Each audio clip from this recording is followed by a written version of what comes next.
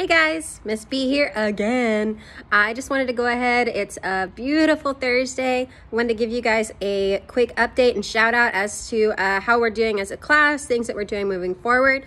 So I know this has been our first week in Edmodo, but you guys have been doing a really, really awesome job.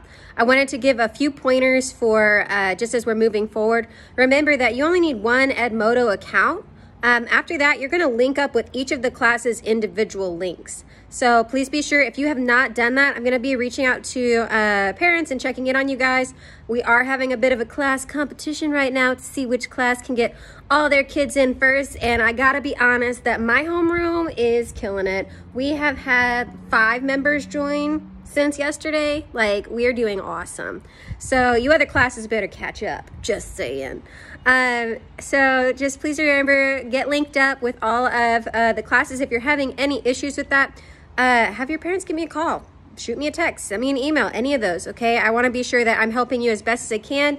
Um, there's not everything in the world that I can do for you right now, but I want to help out however I can. In the meantime, um, please remember that we'll be giving feedback and grades on a single assignment moving forward. The menu will post Friday morning, and then all the assignments are going to be live Monday morning.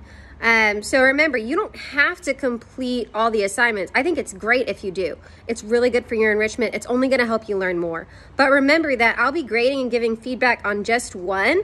So uh, just keep that in mind as you're moving forward. Again, if you hit any snags along the way, let me know. I want to help however I can. I miss you guys a ton. I hope that you are being safe. I hope that you're well. Um, and I look forward to hearing from you guys soon. See you later.